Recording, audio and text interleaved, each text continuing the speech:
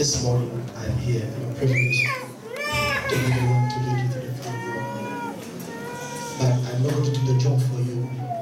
It is up to you to lift your voices. It is up to you to make the heavens hear your voice. It is up to you to show the heavens that you appreciate whatever it is that the Lord has done in your life. It is 11th of December. So people have nothing to do with this day. Yesterday we were here, but somebody was not. And today they couldn't wake up. But you are alive. That's what I want you to think about this morning. I need you to just concentrate.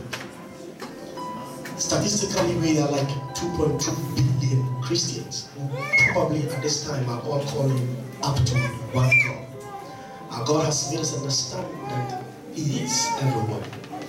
But even just consider yourself that even if we are all shouting right now, will your voice be heard amongst all of us? Now, that is what I want you to do. But our God is so faithful and just to the extent that from your heart, within, He can hear you. Just begin to worship the Lord from, from whatever language, whatever way, whatever way that you think it is working. Just open up your heart and let heavens understand that you really appreciate what has been done for you. 2016 has come. It is about you.